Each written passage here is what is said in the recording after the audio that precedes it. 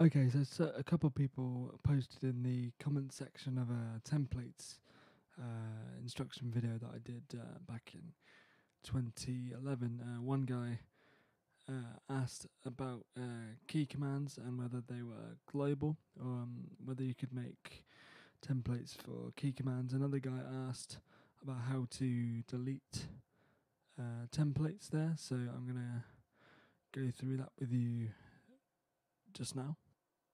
Okay, so first of all, key commands. Uh, we're going to hit Alt K on the keyboard. It's going to bring up our global key command assignment window. You can assign any D, uh, key command that you'd like from within here.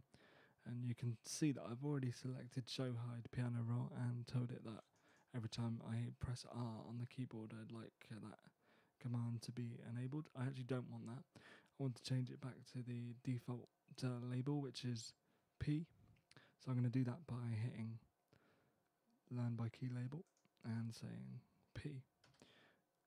And now, by closing this window, every time I hit P on the keyboard, it's going to show and hide my piano roll. Simple as that, and that will apply globally across all of your projects. There's no need to create templates specifically for key commands, they are global.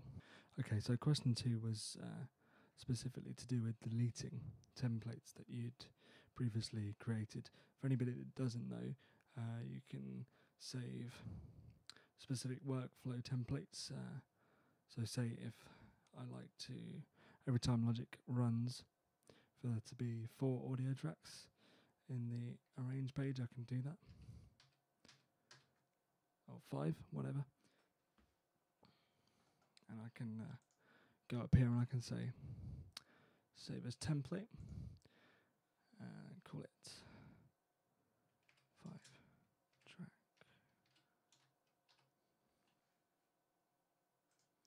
And then what I'm going to do is quit uh, logic here. And Don't save. And then I'm going to reopen Logic.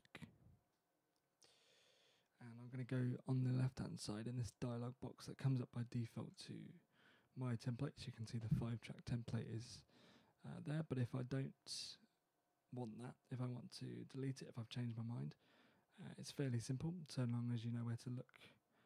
Uh, you need to go to your Finder window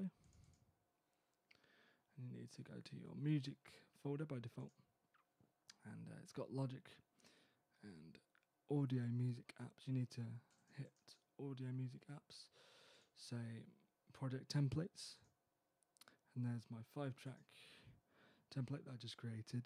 To delete it, it's fairly simple. I just go to my recycle bin, drag and drop, and close this window. We're going to quit out of Logic again.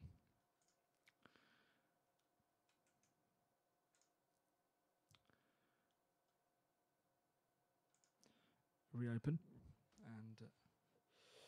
can see now that uh, the my template section of the dialog box is empty. So there we go, that's how uh, we assign key commands across all of our projects and delete templates.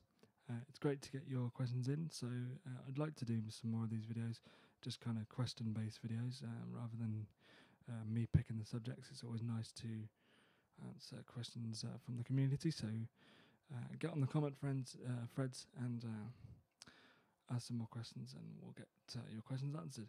Thanks for watching.